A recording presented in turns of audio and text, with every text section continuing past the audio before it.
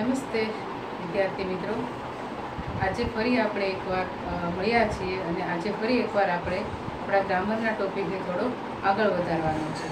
Last લેક્ચરમાં જ્યારે તમે જોયું, ત્યારે આપણે સાદા વર્તમાન કાળની વાત કરતા હતા અને આજે આપણે એમાં જ થોડું આગળ વધીને પછી આગળના કાળ તરફ પ્રગતિ કરીશું. બરાબર છે? તો સાદા વર્તમાન કાળની જે તમે સમજૂતી લીધેલી, એમાં તમે અકાર વાક્ય વિશે માહિતી મેળવી હતી. આજે આપણે તેના નકાર અને પ્રશ્નાર્થ વાક્યો કઈ રીતે બને છે એ જોવા જઈ રહ્યા છીએ. તો આપણે સાદા વર્તમાન કાળના નકાર અને પ્રશ્નાર્થ વાક્યોની માહિતી લેવાની શરૂ કરીએ છીએ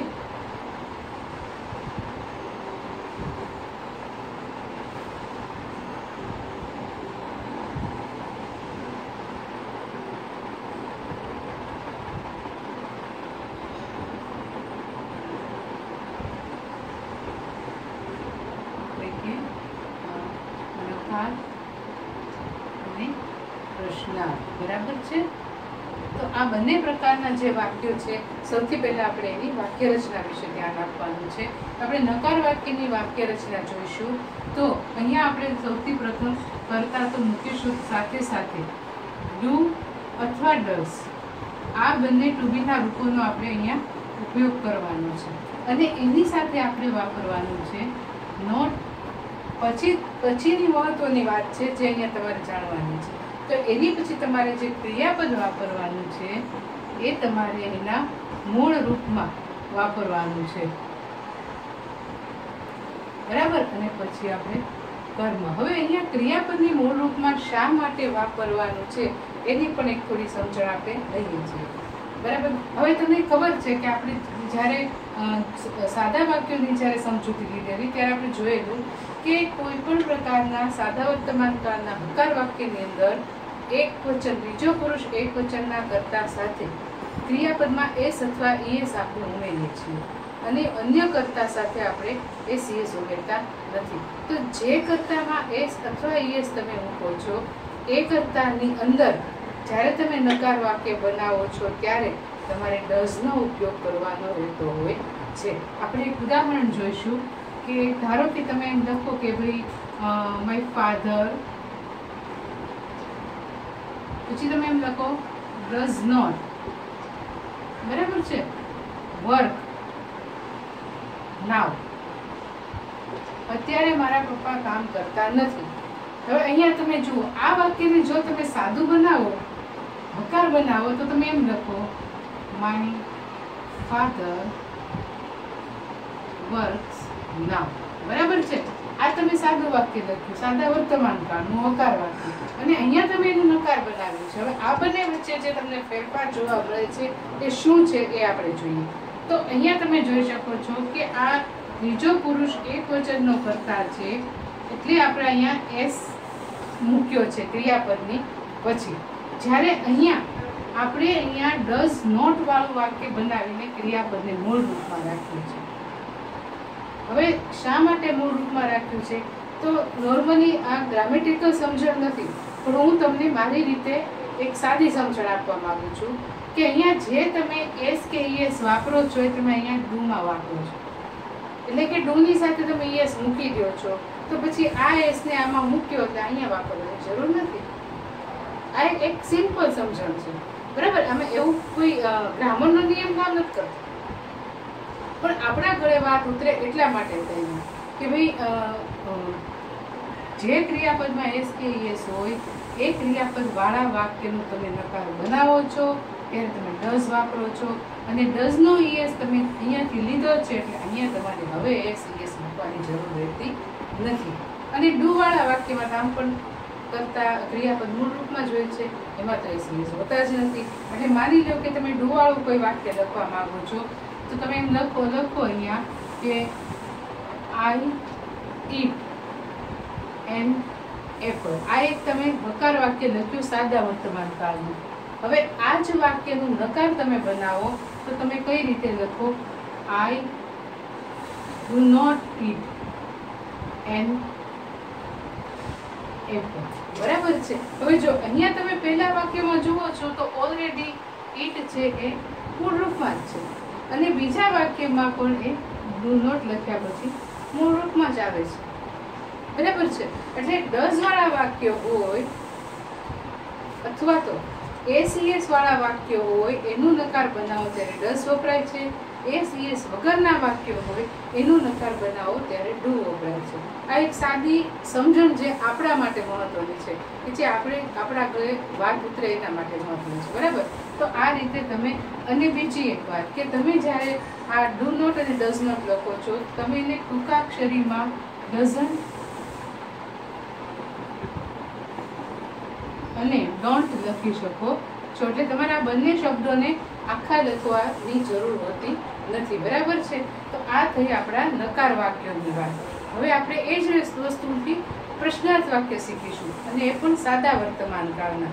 બરાબર છે?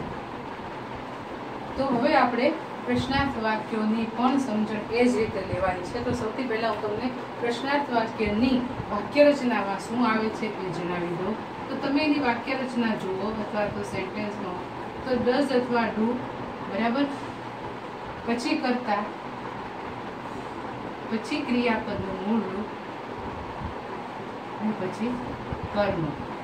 અહીંયા પણ ક્રિયાપદ મૂળ રૂપમાં જ આવશે, કારણ કે અહીંયા પણ તમે ડુ અને દસ બંને વાપરવાના છો, એટલા માટે ફરક અહીંયા એટલો જ આવશે કે ડુ અને દસ છે એ તમારે સૌથી પહેલા મૂકવાના રહેશે. હવે માની લો કે હું અહીંયા એક વાક્ય લખું છું રમાબેન goes to market. બરાબર? રમાબેન માર્કેટમાં જાય છે. હવે આ વાક્યનું હું પ્રશ્નાર્થ બનાવું. તો આપણે અહીંયા ગોસ છે એટલે સૌથી પહેલા મૂકીશું દસ કે જે વાક્ય રચના મુજબ છે. પછી મૂકીશું કરતા એટલે રમાબેન. પછી મૂકીશું ક્રિયાપદનું મૂળ રૂપ એટલે ગો અને પછી ટુ માર્કેટ દસ રમાબેન ટુ માર્કેટ આ પ્રશ્નાર્થ થયું સાદા વર્તમાન કાળનું એવી જ રીતે ડુવાળું વાક્ય પણ તમે કરો, તો તમે એમ લખી શકો કે we play in the garden. તો હવે અહીંયા વી છે એટલે બહુવચન છે, એટલે આપણે ડૂથી જ વાક્ય બનશે. તો એનો આન્સર તમે કરો છો ડૂથી. Do we play in the garden તો આ એનું બન્યું પ્રશ્ન. તો ડૂથી પણ અને દસથી પણ. આ બંને પ્રકારના પ્રશ્નાર્થની સમજણ તમે અહીંયા જોઈ શકો છો. હવે ઘણીવાર એવું પણ બને છે કે નકાર અને પ્રશ્નાર્થ બંનેનું સાથે કોમ્બિનેશનવાળા વાક્ય પણ હોઈ શકે. બરાબર છે ને? કોઈ વાક્ય નકાર વાક્ય છે, એનું તમે પ્રશ્નાર્થ બનાવો છો. તો એમાં પણ નકાર જ શકે છે. તો એ બંને પ્રકારના વાક્યોનું પણ એમાં જોડાણ હોઈ શકે છે. બરાબર છે? તો આપણે આગળના એવા વાક્યો વિશે પણ થોડી માહિતી લેશું. તો આગળના આપણે વાક્યોની સમજૂતી લઈએ છીએ. તો જો અહીંયા હું તમને એવી રીતના વાક્ય આપું છું કે જે હકાર, નકાર અને પ્રશ્ન ત્રણેય સ્ટેટમાં આવશે. એટલે કે એક જ વાક્યના ત્રણ પ્રકારના વાક્યો રહેશે. સૌથી પહેલાં આપણે સાદું એટલે કે હકાર વાક્ય લખીશું. સાદા વર્તમાન કાળનું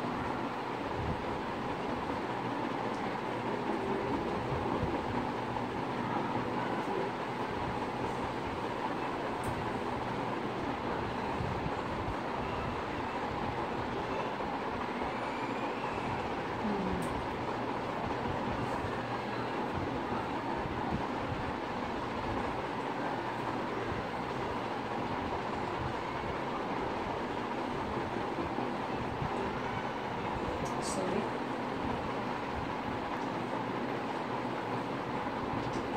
જો એક વાક્ય તમારી સામે લખ્યું છે.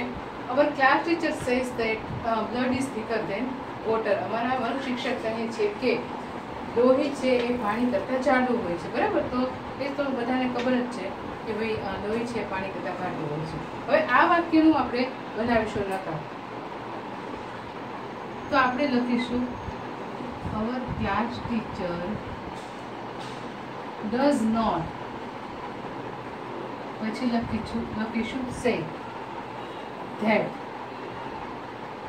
blood is thicker than. Water બરાબર છે?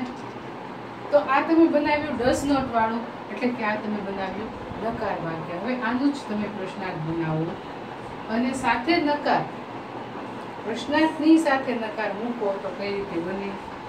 Does our class teacher not say, બરાબર? જો અહીંયા તમે નકાર મૂકો પ્રશ્નાર્થી સાથે that blood is thicker than water.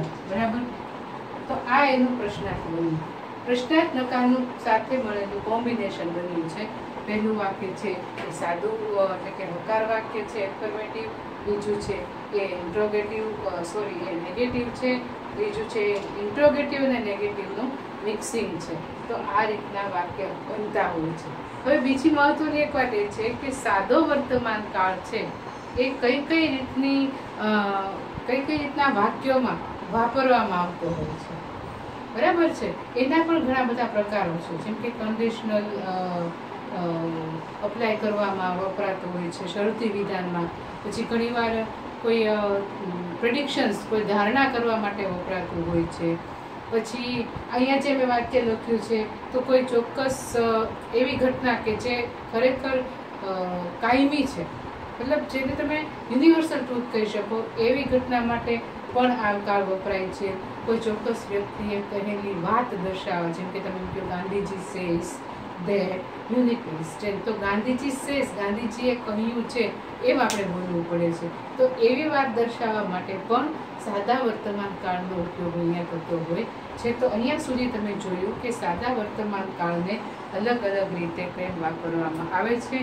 આગળના વીડિયો લેક્ચરમાં આપણે આગળના કાળ વિશે પણ માહિતી લઈશું અને આના થોડા એક્ઝામ્પલના વાક્યો પણ શીખીશું. તો આજનો લેક્ચર અહીંયા આપણે પૂરો કરીએ છીએ. નમસ્કાર વિદ્યાર્થી મિત્રો. નેક્સ્ટ લેક્ચરમાં ફરી આપણે મળીશું અને મહેરબાની કરીને આ વિડીયોને ચોક્કસથી જોજો અને એને લાઇક અને શેર પણ કરજો તમારા આસપાસના મિત્રોમાં અને બાકીના વિદ્યાર્થી મિત્રોને જોશે તેમને પણ ખૂબ જ ફાયદો થશે. નમસ્કાર, આભાર.